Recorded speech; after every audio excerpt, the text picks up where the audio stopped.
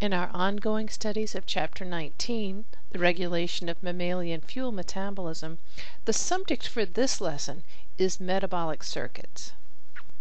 Recall from our last lesson we learned that different organs utilize different metabolic pathways under different conditions, and therefore metabolites are continually being delivered to and from organs, and for this we need a circulatory system. For instance, the liver will produce glucose, and that needs to travel via the hepatic vein to other tissues for fuel use. Amino acids travel to the liver via the hepatic artery for amine disposal. So these metabolite circuits may actually be part of a larger metabolic pathway, as we'll see. This is necessary because not all organs and tissues have the means to utilize every metabolic pathway. Substrates may come from one organ or tissue and the end products may need to be delivered to a different organ or tissue. Let's look at one of these cycles. It's called the Cori cycle, named after Carl and Gerty Cori. In this cycle, we begin with the muscle in our figure on the far right. It's going to break down glycogen to produce glucose during periods of high activity, and it will utilize the pathway of glycolysis to convert that to pyruvate, and that will be its energy source to produce ATP.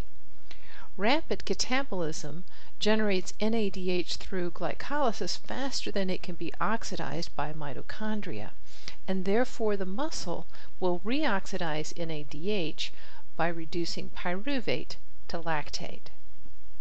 The lactate produced by the muscle then travels to the liver.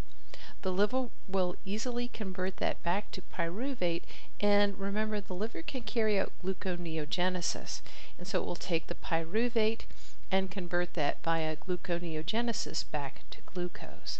Now remember, this is an anabolic pathway, and so the energy to carry out gluconeogenesis, the ATP needed, comes from the oxidation of fatty acids. The glucose produced by the liver then travels back to the muscle for its continued use so that the muscle can continue its high level of activity. Notice the difference between the two pathways. The muscle uses glucose to generate lactate. The liver starts with lactate to make glucose. The difference is in the disposition of the energy or ATP. So the net effect is a transfer of energy from the liver to the muscle. The muscle gains the energy and the liver provides it via the glucose. The next cycle is the glucose-alanine cycle, and this also is another link between liver and muscle, and that's illustrated in our figure here. In this case, muscle protein breaks down under vigorous exercise, and amino acids are deaminated and produce citric acid cycle intermediates.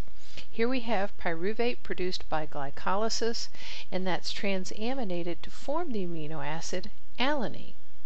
Alanine then travels to the liver, and the liver deaminates that through the urea cycle to produce pyruvate, and then it uses pyruvate through gluconeogenesis to produce glucose, which travels back to the muscle.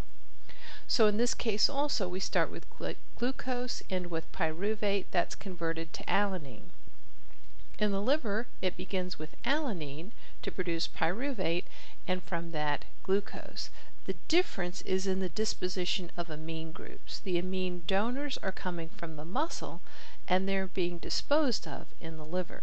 So the net effect is the transport of nitrogen through these amine groups from the muscles to the liver. In our next video lesson, we'll look at the signals that result in insulin release and we'll start to look at hormonal control of metabolism.